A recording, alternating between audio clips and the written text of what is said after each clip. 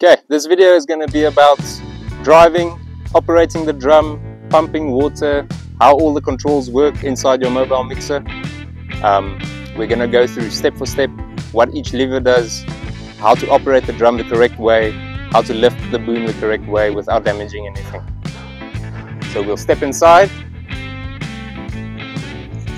Okay, inside the cab of your machine, operating it is fairly simple but it is very easy to make a mistake if you are not aware of what you are doing with the machine. All of the controls needed to operate the drum, your water system, the scales is done from inside here. Um, so starting from the left hand side, you've got your drive controls, which is your forward and reverse, forward, neutral, reverse. You've got low range, neutral and high range. This is for your transfer case because this machine is 4x4. So on the middle of your dash here, you have all of your buttons to control most of what's going on. This button is for your pressure washer to clean out the drum. The pressure washer is mounted on the side of the machine and uses the water inside the water tank. This is for your water pump to pump water into the drum where you are mixing your concrete. Windshield washer, your windshield on and off, spotlights on the top of the cab. Then you have an indicator stalk where your main lights are found, as well as indicating left and right while you are driving. Then on this side you have this controller. This is for a vibrating motor which is found on the un underneath of your lifting bucket. This is to turn the vibrating motor on and off if you do have wet or damp material that's sticking to the corners of the bucket. So you switch it on all the way to 9 different vibration settings depending how difficult the material is to move out. Then all the way on your side here. This is where you have your manual accelerator so you don't have to keep your foot on the pedal while the drum is mixing for things that require a lot of hydraulic pressure. To operate it is simple. Hold the button in. As you lift it up your revolutions of the engine will increase and that is where it will stay until you drop it down. On your joystick joystick is for the lifting bucket on the front. You lift by pulling back, drop by pulling forward, curl the bucket up, curl the bucket down. Then you've got two toggle switches. One is for the door to offload your material in the lifting bucket into the drum. So this opens and closes the door. This button is to switch on and off your vibrating motor. These three controls here are for the usage of the drum. The red one determines which direction the drum is turning. So it will either be mixing one way, nothing in the middle, and discharge to pull the lever to the other side. Then your drum also rotates 270 degrees outwards. By doing pushing the lever this way, the drum will rotate out, and by pulling it back towards you, the drum will come back. The drum can also tilt up and down by using these two levers. Always important to remember that the drum is all the way back in the middle position before you lift the arms so that the hydraulic arms do not hit the top of your bucket. Then way all the way at the back, you can find your, your control for your handbrake, which is operated by pulling and releasing. And to engage your handbrake, you just pull it towards you. That's all the manual controls on the inside of the cab. Okay, inside your cab you also have a backup camera, which you can find on top here. It has one camera on the side of the drum and also one way at the back. So you simply have a power button to switch it on and off and then you can cycle through different views. In this view you can see both the side camera as well as the rear camera and by pressing the V1, V2 button you can change through the views to only see the side view or the rear view. If you press it again you go back to the split view where you can see both. Also in your cab behind the driver's seat you find your radio and underneath the seats the aircon controls are found over here. Okay, so to use your vibrating motor, always make sure that the bucket is lifted slightly off the ground. Always remember to curl the bucket all the way up before you lift it any further. As such, your vibrating motor can be found on the bottom of the skip. So by turning it on, you engage By turning this knob, between setting 1 and 9 depends how intense you want the motor. So it can start from low and then it can go all and as you switch it off, just hit the toggle again. Okay. To open the bucket when you are discharging material into the top of your bin, you operate the opposite trigger. So when the bucket is up above the drum, you hit the trigger to open the door. Your material will fall out. You hit the opposite button to close it again. And then you are done with that. Then you place the bucket back down on the ground. So to turn and rotate your drum, you use these three controls found down here. So depending on if you want to mix or discharge, you will push the red lever side to side. By doing this, then the drum will engage rotation. So that is discharge. In neutral, the drum will stop, pull it towards you. That is where it is mixing. So you can keep it in the mixing position while you are driving to where you are going to discharge your concrete. The drum can also tilt up and down and rotate out to 270 degrees. So to rotate your drum, you use the middle lever by pulling it away from you. That is the tilting lever. You can tilt all the way down, just to make it easier to discharge some of your material. Pulling the lever towards you lifts the drum back up. And then to rotate, you use the last lever, push it away from you, and then the drum will rotate all the way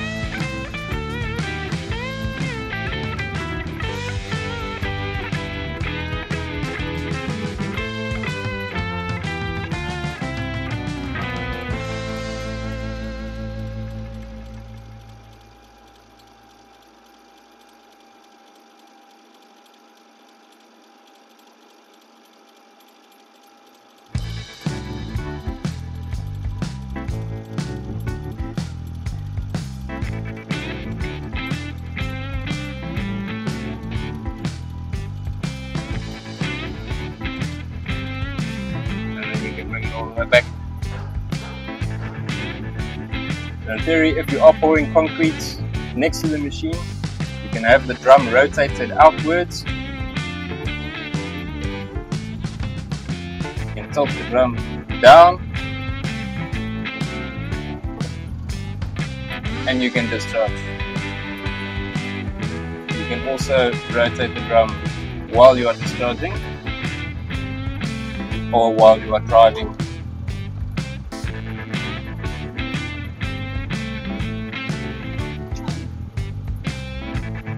Always remember to make sure the drum is tilted all the way upwards before you bring it back in to avoid hitting the side of the machine.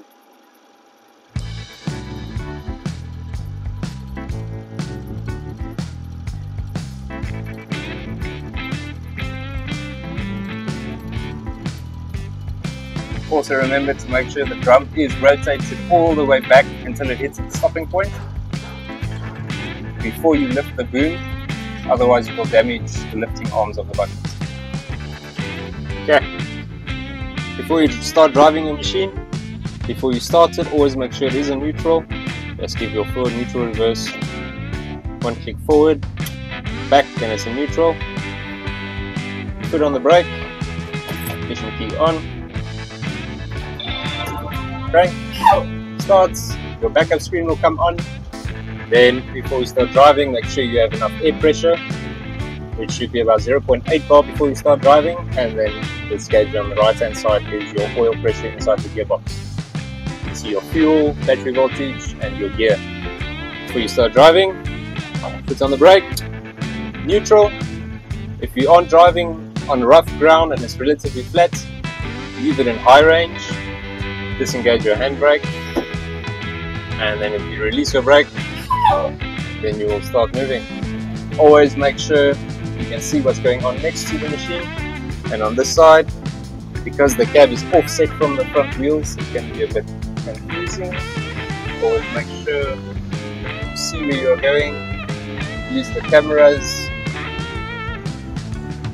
and off we go.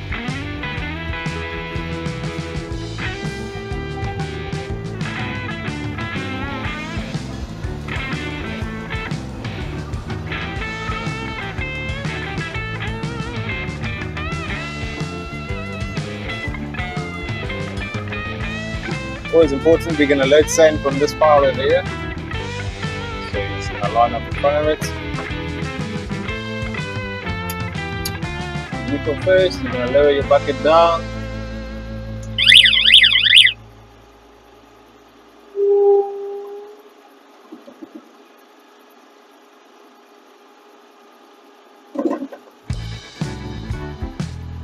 Don't put the bucket flat on the ground, otherwise you're just going to be scraping up dirt from the floor. Keep it relatively low. Get close to your pile. And then drive into your sand pile.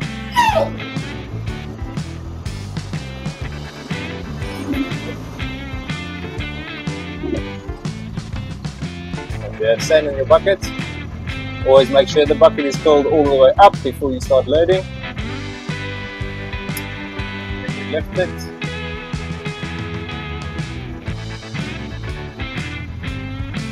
Well, stop.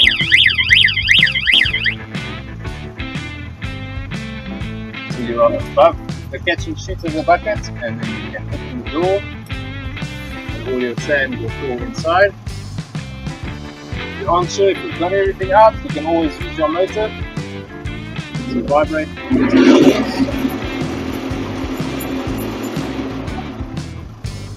Up.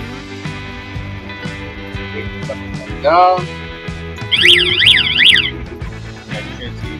Close the door before you take the next load. Just a bit. We're going load number two.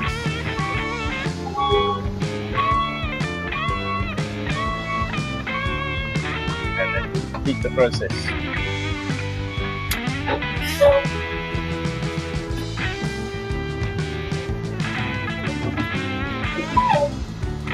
If it is a quite a thick pile, you're more than welcome to put the machine into low range. Add a bit more power.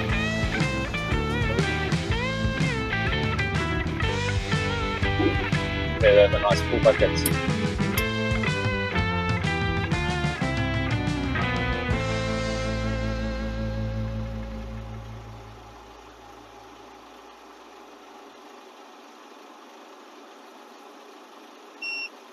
Welcome to the Intelligent Weighing System.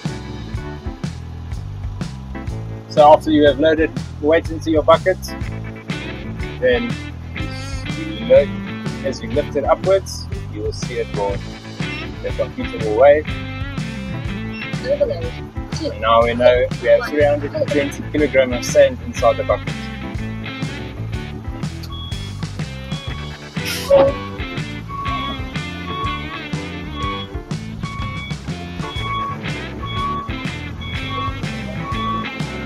Always use the camera and keep looking around you while you're reversing. Safest option is always to have someone else watching for you and directing you as you are driving. You can also use the mirror on the right hand side.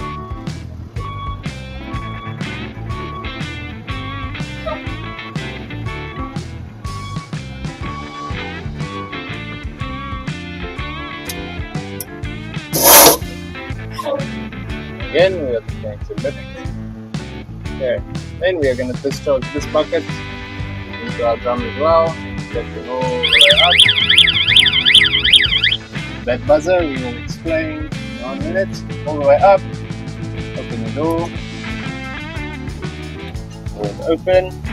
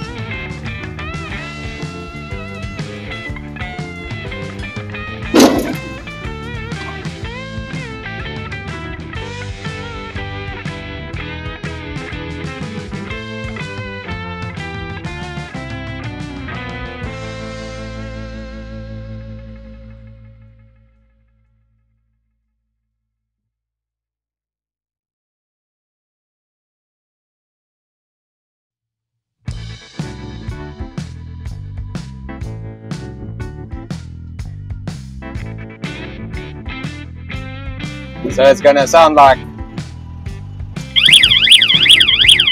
like that.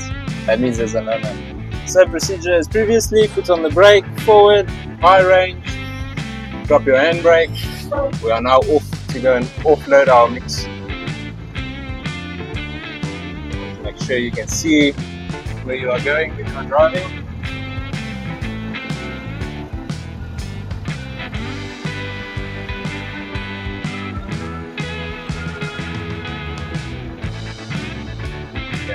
We will be throwing our mix over our lid. Always before you start turning your drum, make sure that the boom arm is lowered back down so that the drum doesn't hit it. Either all the way flat or if you're going to be driving, keep it halfway up in the air. Then we are going to rotate our drum out. If it is a lot of weight, increase the revs.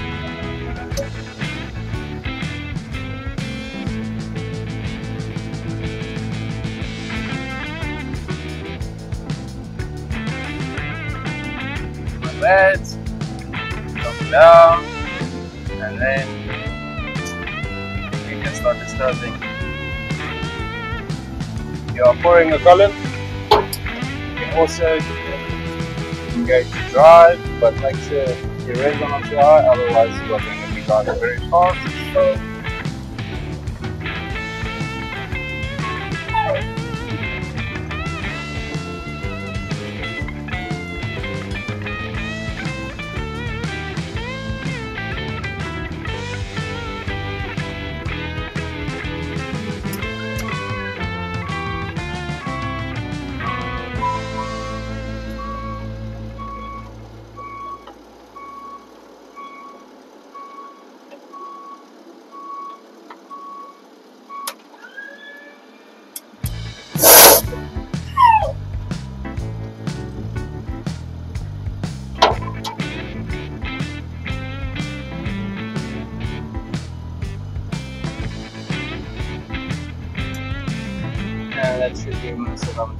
so you can drop the rest back down.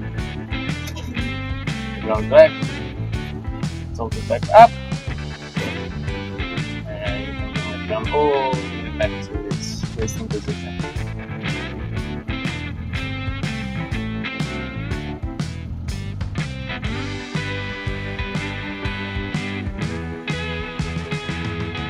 if it is going to be an accurate pour, for example, if you are pouring a ditch and you need to aim the concrete a bit better, the machine does come with two discharge extensions that you can put onto the front of the, the discharge chute of the machine. So empty, you can bring your bucket, bucket back up to driving position.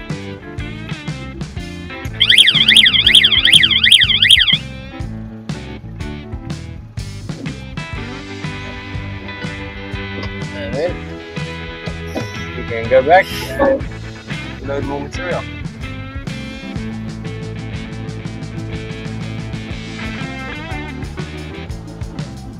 Neutral means handbrake on.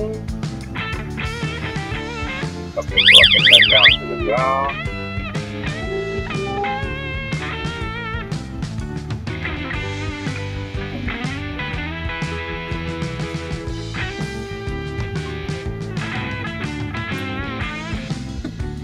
Job done for the day.